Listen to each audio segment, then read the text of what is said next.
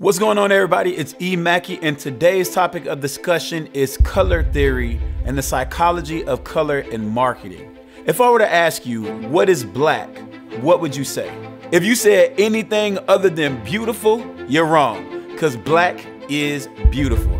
But no, for real though, black is the absence or complete absorption of light. It's what's known as achromatic, a color without hue. Now, the average person sees about 10 million colors. Think about that 10 million colors. And that's probably strange to you because you're probably sitting there wondering, how is it 10 million colors? And the reason why you don't really have a really good perception of 10 million colors is because we don't have a name for those 10 million colors. In fact, for much of history, people didn't really have names for any color. The only way that they had to describe color was light and dark. And this was true for like millions of years. As a matter of fact, it's believed that red is the first color to actually have a name. That's probably because red was the first color that was actually used in prehistoric time. It was the first pigment that was discovered.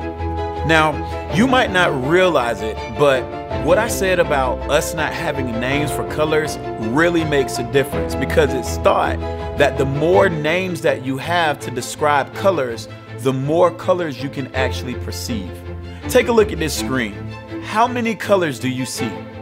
If you grew up in the West, you probably tell me there's one color here, but it's actually two. Now, in Western culture, we have a hard time differentiating between the two different shades of green here because we don't have that many words to describe the color green. But the Himba tribe in Namibia does. They have several different names to describe different shades of green. So when they see this exact same image, they have no problem whatsoever looking at it and being able to tell the difference in color at a glance. Okay, can you point one more time towards the different color?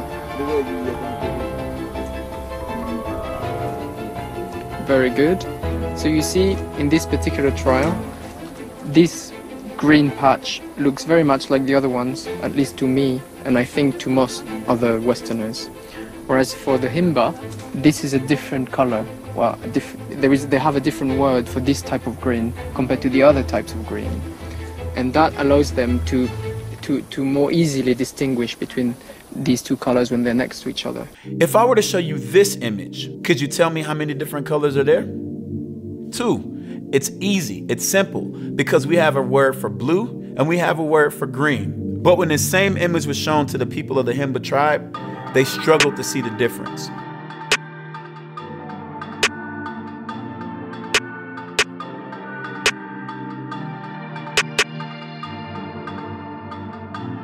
And this was because they don't have a word for the color blue. The difference between the, the, the, the two categories of color is very close to each other.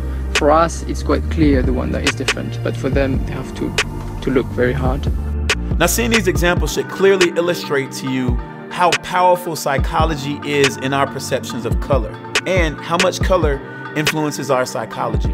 So in 1810, a German poet by the name of Johann Wolfgang von Goethe wrote a book called Theory of Colors. So in this book, he breaks down how color is perceived under different circumstances, and he breaks down different phenomena like colored shadows, refraction, and chromatic aberration. But one of the most important contributions that he made with this book was his interpretation of the color wheel. Alright, so you might remember from elementary school art class that there are three primary colors. Those are yellow, blue, and red. And you might also remember that these colors can't be created by mixing any colors together. But Every color can be made by mixing some combination of these three colors together. When we combine any two of these three colors, we get what's known as secondary colors. From combining secondary colors, we get what's known as tertiary colors. And when we combine tertiary colors, we get what's known as the color wheel. Now, if you really understand the color wheel and how it works, it can be an extremely powerful tool that you can use in both art and marketing.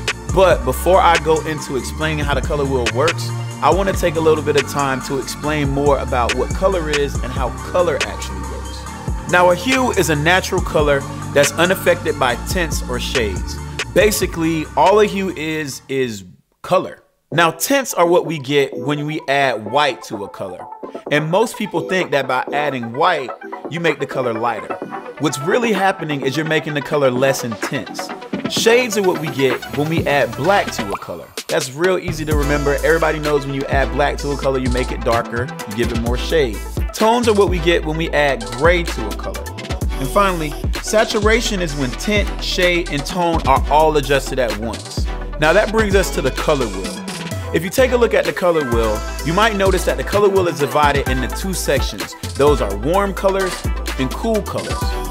Now when we begin to start using the different colors on the color wheel and pairing them together, these pairs are called color harmonies. The color wheel is a powerful tool because it can guide us as to what colors to use to create harmonies. Now there are several different harmonies that can be created by mixing different combinations of colors, but we're only gonna discuss three for the purpose of this video. Now the first of the three are complementary colors. Now complementary colors are colors that are on exact opposite sides of the color wheel and it's probably the most commonly used of all the color harmonies. And probably the most popular use of complementary colors are pink and teal. We see pink and teal everywhere. You might not have ever noticed it, but it's in like almost every movie, every super dope like nature Instagram photo that you see. Pink and teal are almost everywhere. The next color harmony that we're gonna discuss are analogous colors. And these are basically colors that are side by side on the color wheel. Some examples of analogous colors are what you see here. Now the third example of color harmonies would be monochromatic colors. And this is when you have one hue with different shades, tones, and tints. The most common monochromatic color that we see is black and white, but it doesn't have to be black and white. Remember, monochromatic color harmonies are anytime you have one hue or color with different shades, tones, or tints. Some other examples of color harmonies are triadic, split complementary, tetradic, and square.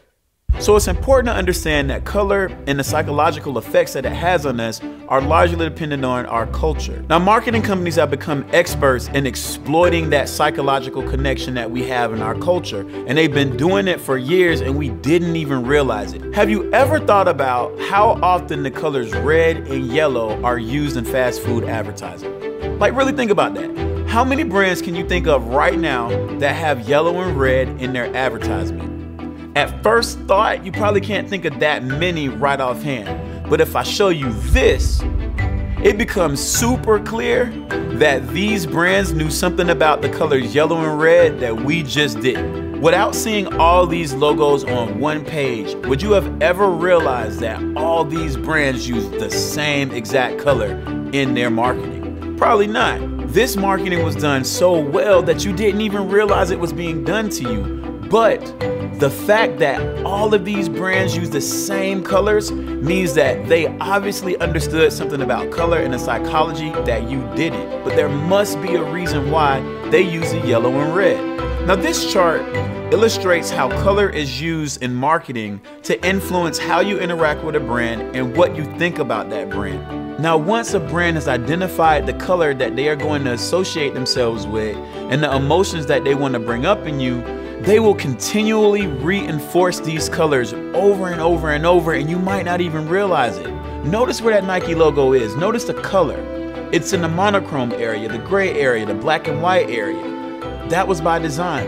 It's not a coincidence that the Nike logo is in black and white, and the majority of their advertisements are in black and white as well. Hopefully, I've given you enough information on how color works, how we perceive color, and some basic ideas of what color represents and what it means to us. Thank you so much again for taking the time to watch this video. I really appreciate you guys and I appreciate all the continued love and support that you guys have given me. Tag somebody that you think can use the information in this video and if you like to share this video, feel free, shoot me a DM and I'll get you the files that you can share it in high definition.